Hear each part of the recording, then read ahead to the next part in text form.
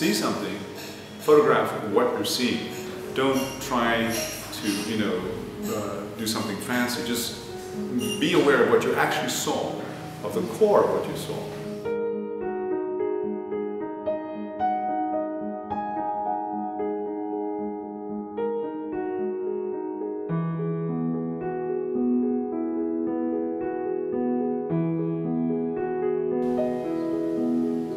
Photographer has to have some kind of internal process going on, some kind of awareness of what he or she is about and what he or she uh, is interested in showing. If you have this inside you, when you meet the situation, you immediately respond to it. Sometimes the images are not necessarily uplifting. Sometimes the images are cruel. Sometimes the images are hard. But that is also, you know, part of a response as well.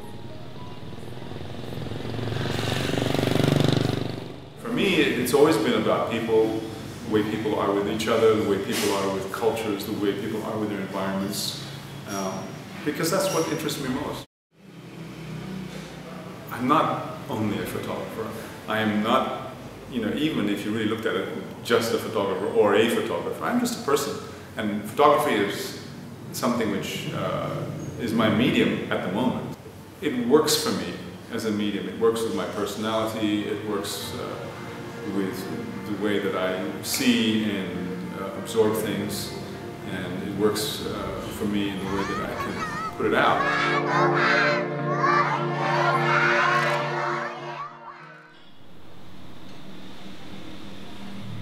Photography is like a language, and you have to learn the language be able to speak it, and that takes time.